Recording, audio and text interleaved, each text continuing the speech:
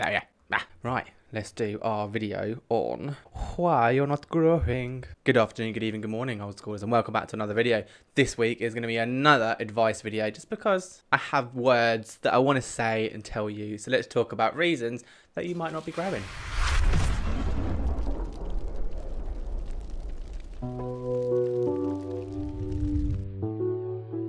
So technically this is only three points. The fourth point is going to kind of be like a yo-yo weird point that won't fully make much sense, but I'll try and explain it better. However, we're just going to be discussing um, a number of different reasons as to why you not be growing as a streamer. And some of them might not be nice to hear, but it's the truth. And I would rather you guys hear that than miss out on something. And again, a lot of this isn't new information. It's just me recycling different things that I've heard from all different angles kind of thing. So obviously I've watched a lot of other YouTubers as well and people like Ashley Christ and um, Guy Level, Alpha Gaming, like I've watched all of those and all of these advice videos are basically a mishmash compilation of everything they've said chucked into a video and it's talking about things that have either worked for me or things I'm currently working on myself. So all of these videos, you guys know I'm not the biggest streamer in the world, but these are all things that I'm actively doing myself and I'm seeing results as time is going on because I'm seeing it work for me, I just kind of want to tell you guys and let's get on with it. Before we start, we've got our socials flying by here. So we've got Twitter, Twitch, Instagram, YouTube, and Facebook.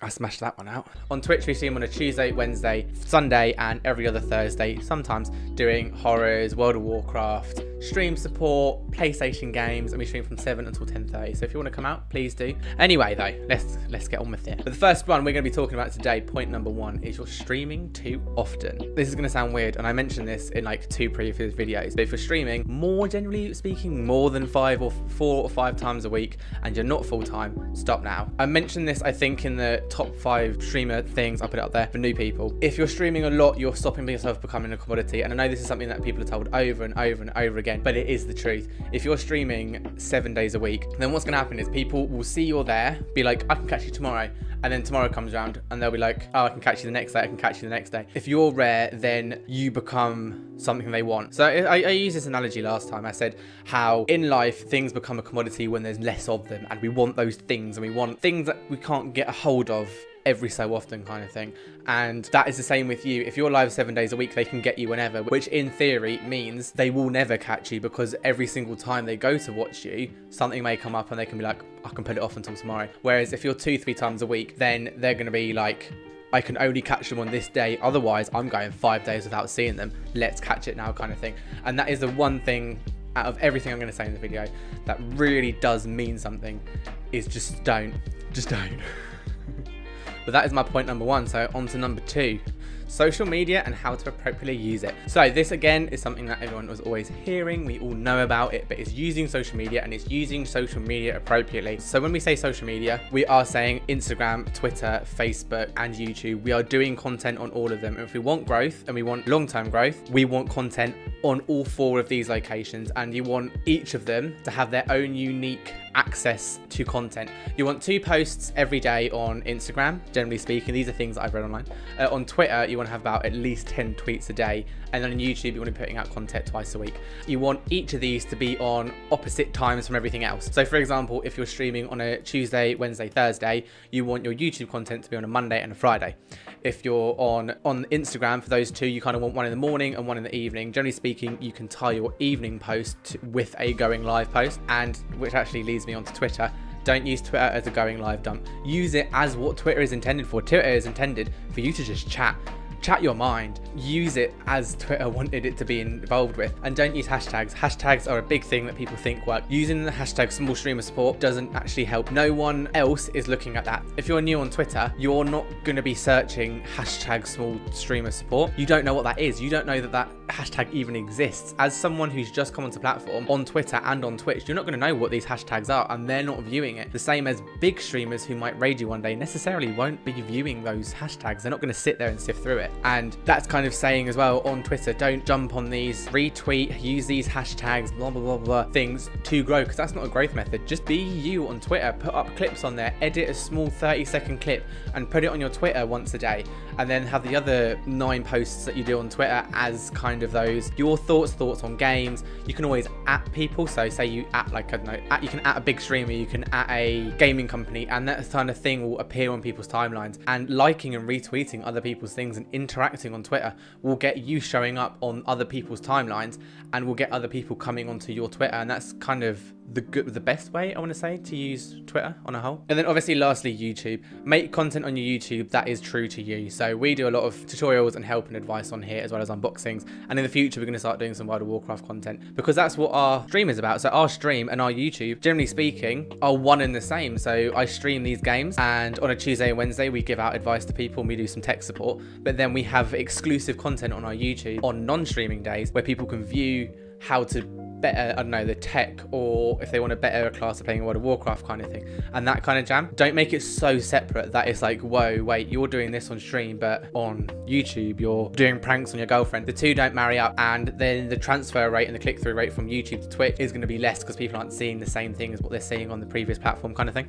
Next is, uh, is this one is associated with social media but this one is self-loathing content point number three. This one's gonna be short and sweet. On your social medias, try not to be self-loathing. I've seen a lot of this on Twitter and on Instagram specifically, where people have been like, I'm not growing, this isn't happening for me, and so on and so forth. I know you may feel it, and I know in some cases you are sad about it.